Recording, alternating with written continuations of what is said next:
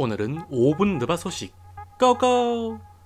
보스턴이 릴라드 영입에 꽤 관심 있는 상황이며 제이슨 테이텀은 릴라드 recruiting을 시도하고 있다고 합니다. 그런데 현재 릴라드는 마이애미 행만을 고수하고 있는 상태이며 챔피언 contender급의 팀으로 가는 것이 아니라면 차라리 포틀랜드 잔류를 선택할 것이라고 하네요. 게다가 릴라드 에이전트인 에런 굿윈 또한 마이애미를 제외하고 릴라드 트레이드 오퍼를 넣고 있는 타 팀들에게 연락해 트레이드 제안을 하지 말라고 경고했다고 합니다. 상황이 점점 더 이상하게 흘러가는 느낌이 드는데 릴라드 드라마의 끝은 서로 윈윈인 해피엔딩으로 끝날지 아니면 막장 드라마로 전개될지 주목되는군요. 그리고 릴라드는 크리스 폴이 골스로 트레이드 되기 전 골스 합류에 관심이 있었다고 합니다. 뉴욕은 클리퍼스로부터 폴 조지를 받는 대신 오비 토핀, 퀸튼 그라임스, 에반 포니에 그리고 3장의 1라운드 pick을 제시했었다고 하네요.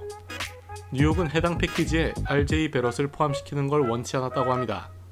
또한 뉴욕은 임마누엘 퀵클리와 연 20 million 달러 연장 계약을 고려하고 있다는군요. 클리퍼스 구단은 파스칼 시아캄 영입에도 관심이 있었다고 합니다. 댈러스 구단이 마티스 타이불에게 3년 33 million 달러 오퍼를 넣었으나 포틀랜드 측에서 이 오퍼에 match했다고 하네요. 트레이드설이 나돌았던 디존테 머레이가 애틀랜타 구단과 4년 120 million 달러 베테랑 맥시멈 연장 계약 협상을 마무리 중이라고 합니다. 플레이어 옵션이 포함된 계약이라고 하네요. 지니 버스는 레이커스 프랜차이즈 역대 가장 중요한 인물 5명으로 코비 브라이언트, 카림 압둘자바, 르브론 제임스, 매직 존슨, 그리고 필 잭슨을 선정했습니다. 이에 대해 샤킬 오닐은 SNS를 통해 왜? 라고 답했네요. 농구 게임 NBA 2K24의 표지 모델로 코비 브라이언트가 선정되었습니다. 이번이 NBA 2K 시리즈 표지 모델로 선정된 여섯 번째라고 하며 코비는 역대 NBA 선수들 중 NBA 2K 표지 모델로 가장 많이 출연한 선수라고 하네요. 브리트니 스피어스가 빅터 웬반야마와 사진을 찍기 위해 그의 몸에 손을 댔다가 경호원에게 얼굴을 맞았다고 합니다. 스피어스에 따르면 웬반야마를 뒤에서 잡아 끈 것이 아니라 단지 주변이 시끄러워 그의 주의를 끌기 위해 어깨를 살짝 친 것이었는데 경호원은 뒤도 돌아보지 않고 자신의 얼굴을 쳤다고 언급했으며 해당 경호원에게 소송을 걸 것이라고 하네요. 도노반 미첼이 다음 시즌 트레이드 대상이 될 수 있다는 루머가 있습니다. 최근 5년 260 million 달러 맥시멈 연장 계약을 체결한 타이리스 할리버튼. 해당 계약은 플레이어 옵션 없이 5년 모두 완전 보장되는 조건이라고 하네요. 브루스 브라운은 할리버튼이 자신을 recruiting했다고 말했습니다. 캠 존슨의 연장 계약 조건이 4년 108.2 million 달러에 달할 것으로 보인다고 하네요. 샌안토니오 구단은 오스틴 리브스에게 오퍼를 넣을 생각이었다고 합니다. 캘리포니아 클래식 서머리그에 참가 중인 키건 머레이가 7월 7일부터 열리는 라스베가스 서머리그에는 참가하지 않을 것이라고 하네요. 크리스천 우드가 레이커스 또는 마이애미로 갈 것이라는 루머가 있습니다. 유타 와타나베가 피닉스와 2년 5 million 달러의 계약을 체결했으며 2년차 시즌은 플레이어 옵션이 포함되어 있네요. 몬트레즐 헤럴이 필라델피아 구단과 1년 재계약에 합의했습니다. 총 12명의 인원이 확정된 미국 농구 대표팀이 라스베가스에서 8월 3일부터 6일까지 트레이닝 캠프를 진행할 예정이라고 하네요. 인디애나와 세크라멘토 간의 크리스 두아르테 트레이드 조건이 확정되었으며 세크라멘토가 두아르테를 받는 대신 인디애나에게 2라운드 pick 2장을 보냈습니다. 스페인 복귀설이 있었던 윌리 헤르난 고메즈가 바르셀로나와 계약을 체결할 것이라는 루머가 있네요.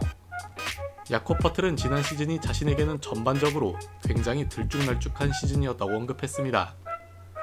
제일런 맥데니얼스는 토론토로 합류하게 된 이유로 토론토가 자신의 플레이 스타일과 맞는 팀이라 생각했다고 하네요.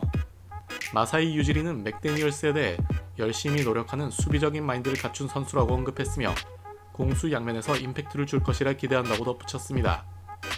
벤 맥클레모어가 이번 라스베가스 서머리그에서 여러 팀과 워크아웃을 진행할 것이라고 하네요. 최근 클리퍼스와 재계약한 메이슨 플럼리에게 골스, 애틀랜타가 관심이 있었다고 합니다. 에런 할러데이가 1년 계약으로 휴스턴에 합류하게 되었네요. 샬럿이 그의 영입에 관심이 있었다고 합니다. 샌안토니오 구단이 이번 서머리그에서 좋은 활약을 펼치고 있는 줄리안 샴페니와 재계약했네요. 유럽 무대에서 오클라호마로 합류한 바실리에 미치치가 이번 월드컵에 세르비아 대표팀으로 참가할지는 미지수라고 합니다. 보스턴 구단이 이번 주 알리제 존슨과 워크아웃을 진행할 것이라고 하네요. AJ 그린이 밀워키 구단과 3년 계약을 체결했습니다. 첫 시즌만 완전 보장이라고 하네요. 멤피스와 피닉스가 트레이드를 진행했는데요. 멤피스가 아이제이아 토드와 24년 30년 1라운드 swap pick 권리를 얻게 되었고 피닉스는 25년, 28년, 29년 2라운드 pick을 얻게 되었습니다. 뉴올리언즈 구단이 EJ 리델과 3년 6.2 million 달러 계약을 체결했네요. 마지막 3년차 시즌은 팀 옵션이 포함되어 있습니다. 포틀랜드 구단은 센터 이부 바지와 재계약했으며 존 버틀러와는 two-way 계약을 체결했네요. 시카고 구단이 센터 마르코 시모노비치를 방출시켰습니다. 보스턴 구단이 38 pick으로 지명한 조던 월시와 4년 7.6 million 달러의 계약을 체결했군요. 애틀랜타 구단이 46 pick으로 지명한 세스 룬디와 two-way 계약을 체결했다는 소식을 마지막으로 오늘의 5분 느바 소식 끝!